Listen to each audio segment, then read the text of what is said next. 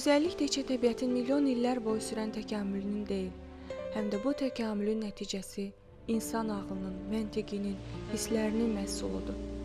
Gözəllik idrakla bağlıdır. Əxlaqi fəzilətlərdən kənarda insan gözəlliyi yoxdur. Ən gözəl şəxs hər şeydən əvvəl ən yüksək əxlaqi fəzilətlərə malik insandır. Ağlın gözəlliyi heyranlıq, ruhun gözəlliyi isə hörmət doğurur. Əxlaqi, mənəvi dəyərlərin dəyişdiyi bir dövrdə filosofların illərdən bəri gəldikləri qənaət, yazdıqları qalaq-qalaq kitablardakı fikirləri elə kağız üzərində qalıb. Görəsən insanlar nə üçün maddiyyatı mənəviyyatdan üstün sayır? Bu həmişəmi belə olub? Yoxsa zəmanənin gərdişi insanları çaşbaş salıb?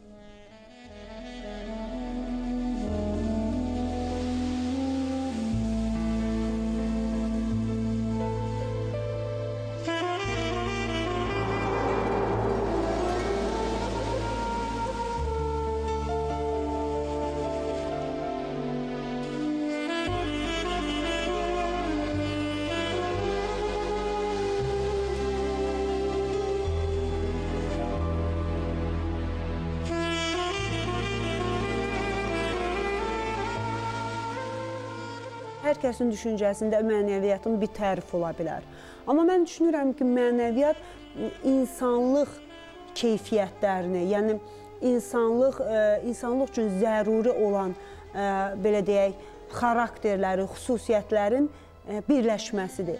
Yəni nə qədər çox bu xarakter xüsusiyyətlər, yəni insanlıq insanlıq xüsusiyyətləri, xarakterləri daha çox olursa, bu insanda mənəviyyat daha çox olur daha çox, yəni onun səviyyəsi artır. Eyni zamanda təbii ki, burada onun dünya görüşü, onun məntiqi, bütün bu amillər də onun içərisinə ə, e, toplanır.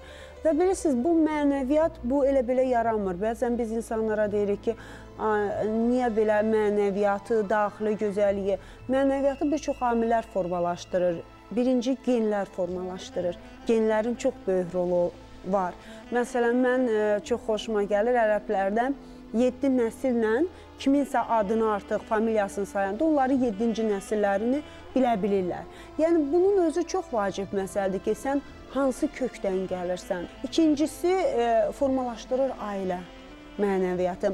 Ailə e, belə deyək, çox böyük varlıqdır, çox böyük qüvvədir. Xüsusilə o ailənin içərisindəki qadın. Yəni mən hesab edirəm ki, e, insanın hər bir gəncin, hər bir doğulan insanın mənəviyyatının formalaşmasında əsas qüvvə anadır.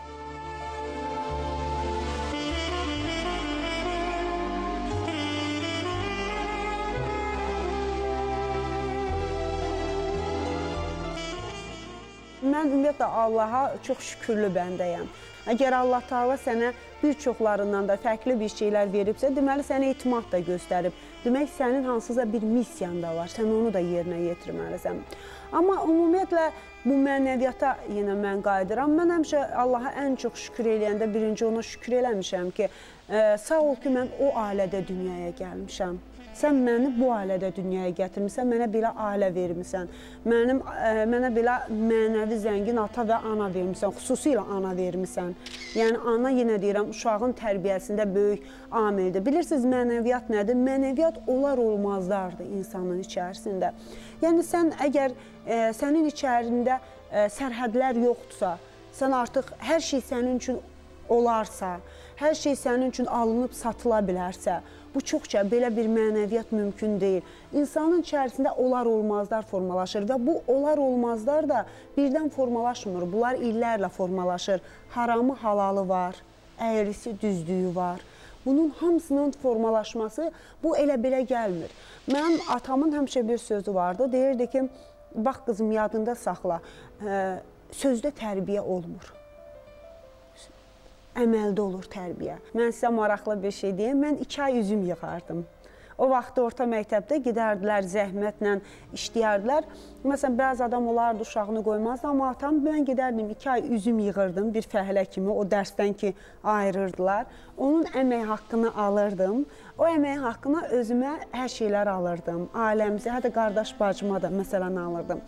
Və ə, məsələn, atam bizi həmişə bu sadə həyata öyrədib. Çünki həmişə atam deyirdi ki, qızım, əsas paltarın gözəlliyi deyil. Əsas odur ki, sən danışacaqsan, sənin addımların, insanlar sənin paltarından yox, sənin düşüncə tərzindən, sənin etdiklərindən danışacaqlar. Onda səni qəbul edəcəklər. Bax o sənin kimliyində. Paltar sənin kimliyin deyil. Paltar kimdənsə alıb geyinə də bilərsən, amma o şeylər var ki, onları almaq üçün zəhmət lazımdır, onları almaq üçün illər lazımdır. Onların üstündə həmişə e, mübahisə et və mənim yadımdadır, mən cəmi həyatımda bircə dəfə paltar istəmişəm. Ondan sonra da heç vaxt istəməmişəm. O zaman bir dəb idi, bir e, donlar çıxmışdı, e, festival deyirdilər. Hər kəs geyinərdi, bunu ən kasıb adamdır. Səhv eləmirəmsə 13 manat idi o zaman qiyməti. Mən anama yavaşca dedim ki, mən də o dondan istəyirəm. Atam, anam atama dedi ki, bəlkə Qənirə də deyir o dondan mən istəyirəm. Atam belə baxdı, dedi ki, mən ona o donu almayacağam. Niyə o kitab istəmiş, istəmədi? Halbuki mən biz ailədə belə olub ki, atam biz 5-ci sinifdə Səfirlər romanını oxumuşuq.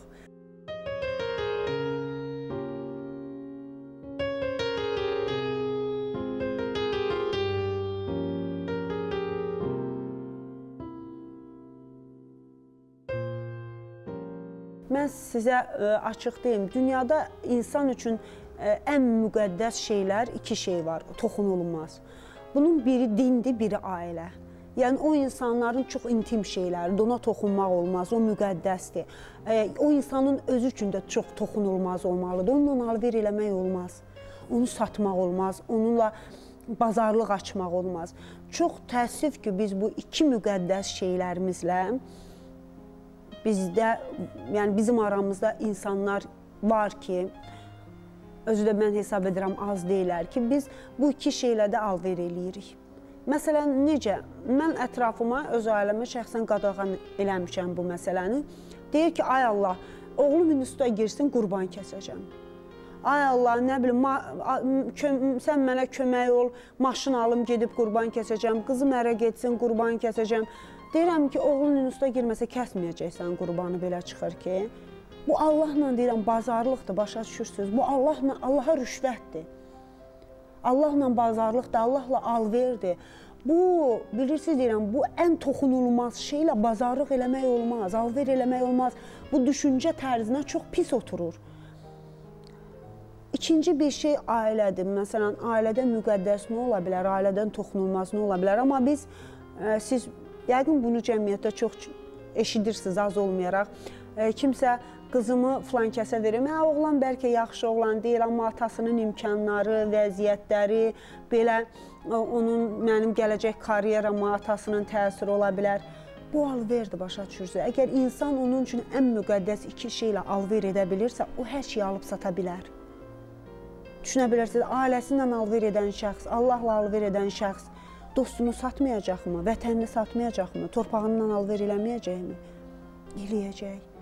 Artıq sərhədlər itir, olar olmazlar itir. Bilirsiniz, bu Cəlil Məmmədquluzadənin ən böyük mənim sevdiyim, yəni şah əsərləri deyərdim, bir hekayəsi var. Bu bir kəndə gedir, Azərbaycan kəndinə. Görür ki, keşiş başına yığıb, erməni keşişi gəncləri başına yığıb, deyir ki, vətən, vətən, yenə vətən gəncləri başına yığıb. Keçir qonşu Azərbaycan kəndinə, görür molla gəncləri başına yığıb, deyir südü kişmişlə necə içmək olar. Başa düşürsüz fərqləri. Bax bu o dövrdən bu günə gətirdiyimiz acı reallıqdır.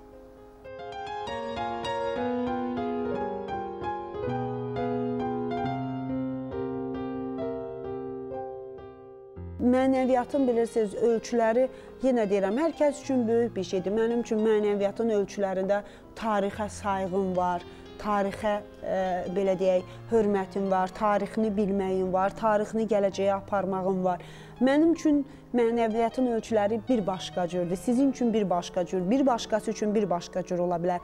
Amma əsasən odur ki, ümumi qəbul olunmuş budur ki, insanlıq keyfiyyətlərinin belə deyək, toplumu bir toplumu mənasına gəlir mənəviyyat. Yəni o nə qədər çoxdursa, o qədər mənəviyyat dərindir və düşüncənin, məntiqin, təhsilin dərinliyidir mənəviyyat.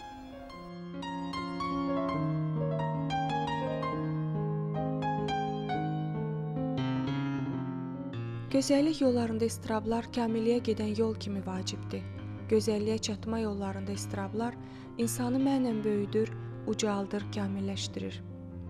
Sədaqət, vəfa, mənəvi yetkinlik, kamillik əlamətidir. İnsan mənəviyyatına, qəlbinə, ruhuna qida verməklə, qəlbini təkmilləşdirməklə mütləq həqiqətə, kamilliyə çata bilər. Görünür, bu hər insana nəsib olmayan bir həqiqətdir. Əgər yer üstündə kamil insanların sayı çoxalsaydı, onda bəşəriyyət də kamilliyə qovuşardı.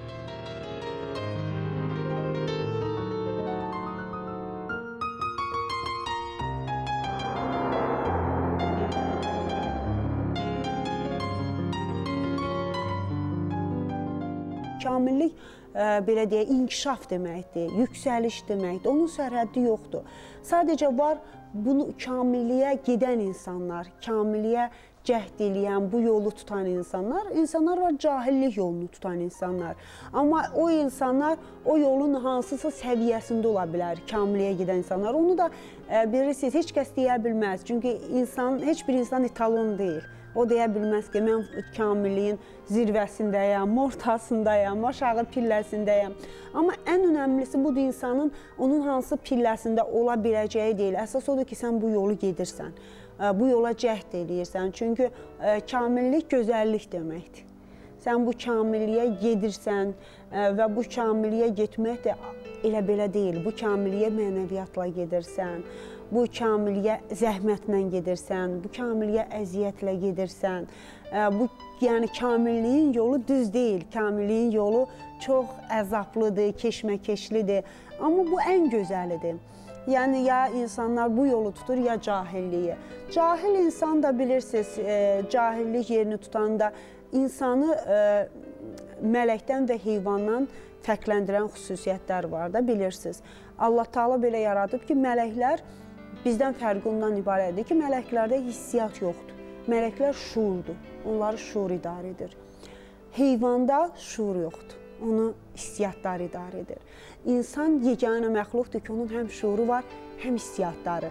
Onda şuur üstünlük təşkil edirsə, şuurlu surətdə gedirsə inkişafa, mələkləşir. Görürsüz, deyir ki, bu elə bir bizdə bir loru dildə də misal var. Bir elə bir mələkdir insanların hissiyatı, o cürbəcür, o heyvani hissiyatlar, tamah, belə də hissiyatlar şuuru üstün üstələyirsə, mən üzr istəyirəm, bu artıq digər istiqamətə gedir. Və insan da bu yolu tutur. İnsan ya kamilliyə gedir, ya da qalır qaranlıqda. Cahillik qaranlıq deməkdir.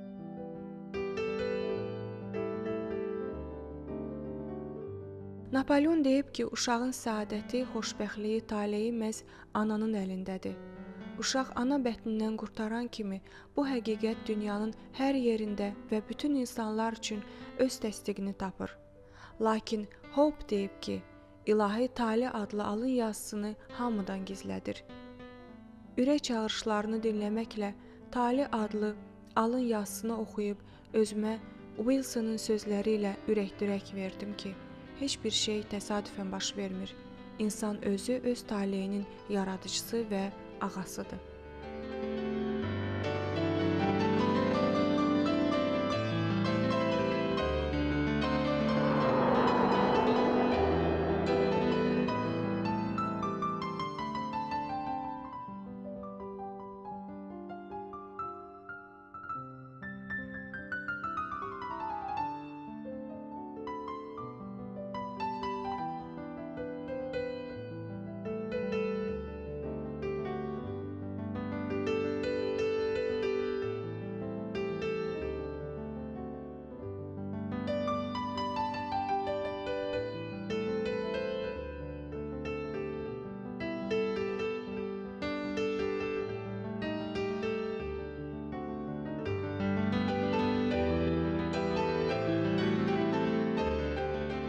Mən taleyə inanıram, amma Allah da deyir ki, səndən hərəkət. Mən sənə yazmışam, amma Allah da ə, belə deyir, ə, sənə yolu yazır. Amma sən necə bu yolu gedəcəksən? Bu sənin öz əlindədir. Yəni ə, mən ö, Allahın ta, taleyin mənə yazdığı yolu necə gedəcəm? Hansı surətlə gedəcəm? necə burada ə, addımlar atacağam? Bu artıq mənim özümdən asılıdır. Yəni ona görə də insan öz özü də öz taleyini mükəmməlləşdirmək üçün, özü də öz həyatını qazanmaq üçün ciddi işləməlidir, addımlar atmalıdır. Yəni mən belə çox təbii anlayışı qəbul eləmirəm. Amma təbii ki, mən taleyə, qismətə də inanıram. O ki qaldı e, Napoleonun fikirlərinə mən bayaqları təxminən bunu dedim. Mən e, bu bu gün qəbul olunan tezisdə mənim əsas qəbul etdiyim tezisdir ki, əgər sən bir qadını təhsil verirsənsə, əgər sən bir qadına cəmiyyətdə lazımi yerlər tutmağına kömək edirsənsə, sən bir ailə qazanırsan. Bir kişiyə təhsil verib onu cəmiyyətə qazandırırsansa, bir nəfəri qazanırsan. Yəni bu anlayış belə deyil. Uşaq ananın ə, belə deyək, təsirində daha çox olur. Amma o demək deyil ki, atanın rolu yoxdur, yox, atanın ə, belə deyək, rolu kiçikdir. Xeyr, amma ananın rolu çox böyükdür. Yenə deyirəm, evladın tərbiyəsində və təbii ki, ananın yüksək olması o cəmiyyətlər inkişaf edir ki, orada belə çıxır ki, ifadəyə görə orada anaların səviyyəsi yüksəkdir. İnsan öz həyatını, əminəmanlığını təmin etmək üçün daha çox iç dünyasına etibar edir. Millətin varlığına, yaşarlığına məhsul olan kəslərin istər dövlət başçısı, millət vəkili və ya müəllim, mütəfəkkir olsun, istərsə də adi bir vətəndaş, fərqi yoxdur atdıqları addımlarla fikir versək, görərik ki, eyni şeylər min illərdir təkrar olunmaqdadır. İçimizdən gələn səsə qulaq asırıqsa, biz əminamanlığa aparan ən yaxın yolu seçmiş olarıq. Ürəyimiz rahatlığın, əminamanlığın əsas təminatçısıdır. Əzəmətli göylər və bir də insan ürəyi sərhəd tanımır.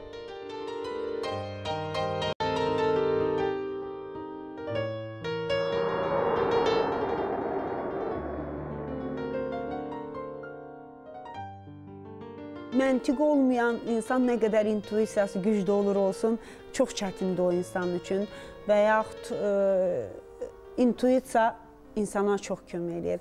Mənim məsələn çox kömək eləyir. Mən e, çox intuit intuisiyam çox güclü olan bir insanam. Bəzən bilmirəm, e, mənə deyirlər ki, bu bəlkə sənin bürcünlə əlaqədardır. Hər halda buna da hərdən baxmaq da lazımdır. Məndə də həmişə deyir ki, bunlarda əlavə bir hiss var. Bu məndə doğrudan belədir. Məndə başqa bir, e, sanki bir duyğu orqanı var, bir hiss var. Bəlkə ağılla, məntiqlə qəbul edə bilməyəcəyim şeyləri məntiqlə və yaxud e, qarşıdan gözləməyəcəyim şey mən onu hiss edə bilirəm. Mən onu hiss edirəm ki, e, bu baş verə bilər və yaxud da hiss edirəm ki, bunun mənə pis nəticəsi ola bilər. Bunun mənə yaxşı nəticəsi ola bilər. Bəzən heç onu məntiqlə qəbul edə bilməsəm də, heç məntiqdən öncə intuisiya məndə çox işə düşür və mənə həmişə kömək edib. Yəni məni intuisiyam allatmır. İntuisiyanın güclü olması da insan üçün çox böyük vacib lazımdır. Amma bu bir keyfiyyətdir bəlkə verilən Allah tərəfindən. Amma məntiq bu məntiq artıq sənin həyatının əsasıdır. Mən məntiq məntiq ə, məntiqin güclü olması bir insanın ən böyük uğurlarından biridir. Bir məşhur deyimi xatırlamaq istərdim. Həyat ağla gələnlərin gerçəkləşdiyi yerdir və insan həyatı təbiətlə harmoniyada əsl dəyər qazanır. İllərin təcrübəsi göstərir ki, uğur qazanmağın sirri insanın öz istəyində yetərincə qətiyyətli olmasındadır. Qətiyyətlilik və sözünün ağası olmaq çox yüksək nəciblikdir. Bir də ümid insanı uğura aparan inamdır. Ümidsiz uğur qazanmaq mümkünsüzdür.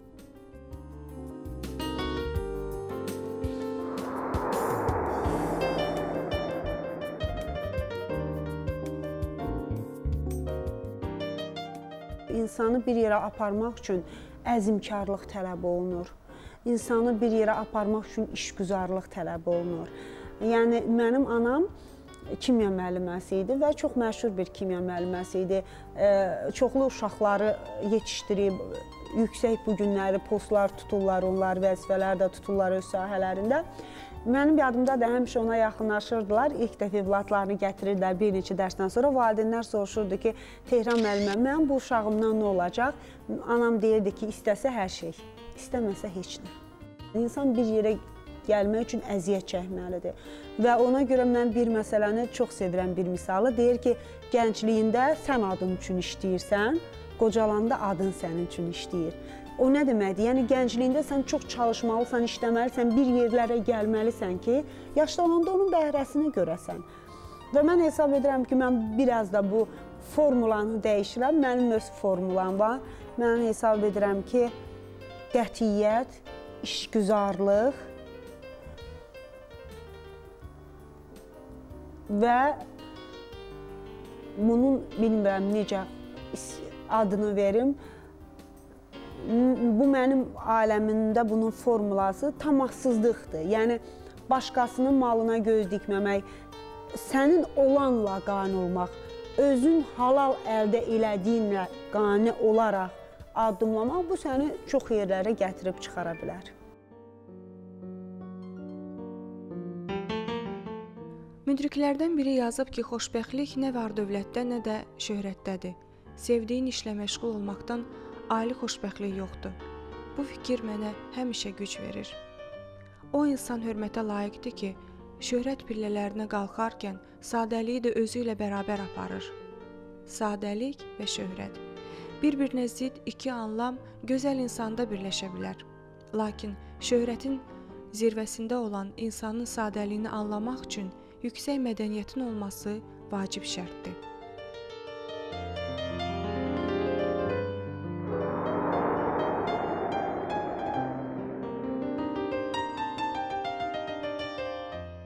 Bizim yaxşı bir misalımız var. Deyir ki, ağac nə qədər deyir bar verərsə, başını bir, bir o qədər aşağı əyir. Bu çox vacib şeydir. Mən bunu təbiətdə baxmışam. Doğrudan da hansı ağaclar çox meyvə verir, bar verir. Fikir verirsiniz onun başı həmişə aşağı olur. Hansı ağaclar ki meyvəsizdir, barsızdır, onlar həmişə başını dik tutarlar. Ona görə mən hesab edirəm ki, bunlar e, bir-birinə qanun uyğunluqdur, paradoks deyil ziddiyyət deyil. Bunlar qanun uyğunluqdur. Şöhrət və sadəlik bunlar bir yerdə çox gözəldir. Yəni sənin şöhrətinin, səni insanların tanımasının, hörmətinin bunun sadəliyə heç bir e, e, belə deyək, təsiri olmamalıdır. İkinci mən bu sözə bəlkə bəzilər üçün bayağı səslənə bilər, amma mən həqiqətən bunu qəbul edirəm ki, sadəlik doğrudan gözəllikdir. Sadəlik özü gözəllik, ən ən gözəl gözəllikdir bu sadəlik. Amma ə, e, məsələn mən özüm bu məsələyə çox mənfi münasibət bəsləyən adamam. Məsələn, insanlar biraz şöhrət əldə etdikdən sonra ə, e, bu belə deyək sadəliyini itirsinlər. Sadəlik deyəndə nədir? Ə, keçmiş davranışlarını itirsinlər.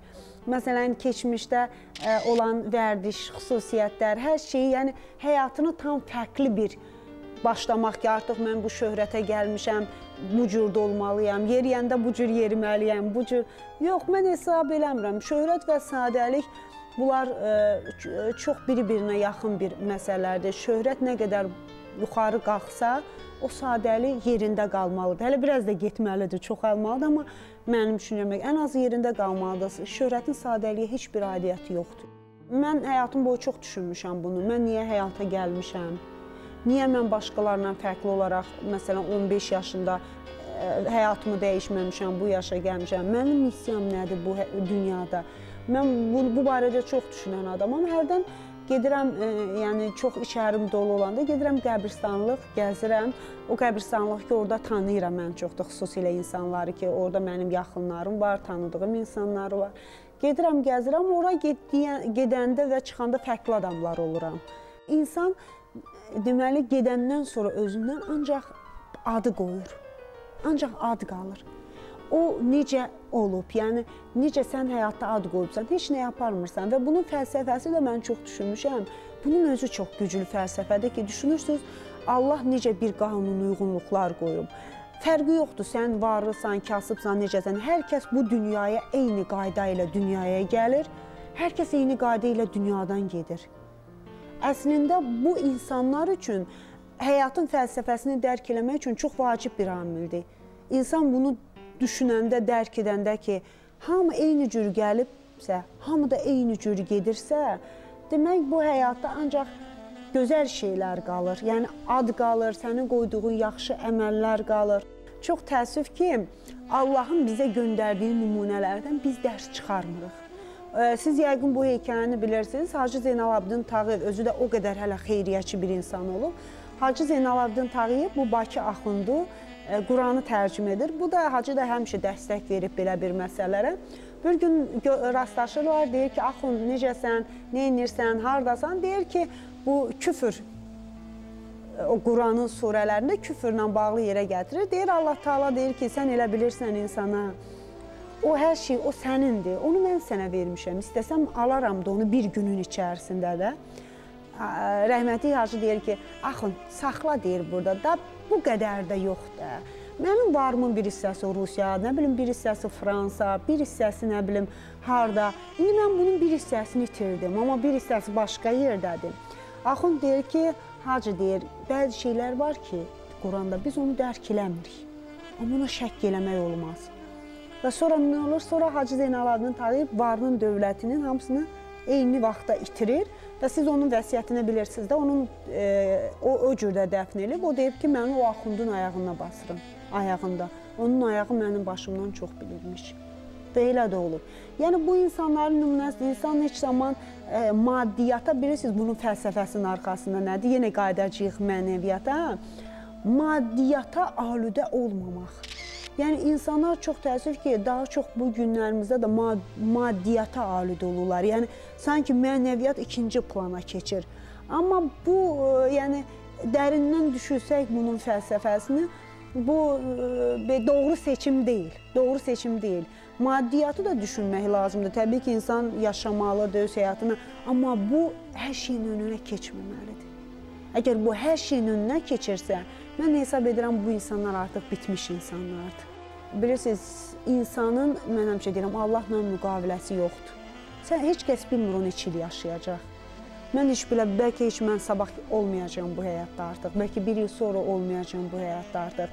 Və mən artıq o düşüncədə olmamalıyam ki, əş mənim, e, məsələn, kimsə, mənim 21 yaşım var, mənim 22 yaşım var. Mənim nə yaşım var ki, mənim hələ ömrüm qabaqdadır. Qabaqda belə addımlar ataram. Məsələn, bu gündür də həyatımı keçirim. Yox, sən hər zaman, hər yaşda bu həyatdan gedə bilərsən və o, o baxımdan da sən hər həyatının hər mərhələsində həmişə düşünməlisən ki, mən buradan gedəndə nə aparıb gedəcəm? Və yaxud məndən sonra nə qalacaq burada? Yəni mən missiyamı, insan kimi bu dünyaya gəldiyim missiyamı necə başa vurub gedəcəm? Mən elə gəlir ki, insanlar hər bir insan, hər bir gənc bu barədə oturub düşünsə, bu, bunun ancaq ona müsbət e, belə deyək, təsir olar. Ümumiyyətlə cəmiyyətimiz üçün təsir olar hər bir insanın. Çünki cəmiyyət insanlardır. Yəni cəmiyyətdə insanlar nə qədər mənəviyyatlı olsa, mənəvi dəyərlər nə qədər zəngin olsa, cəmiyyət o qədər zəngin olacaq.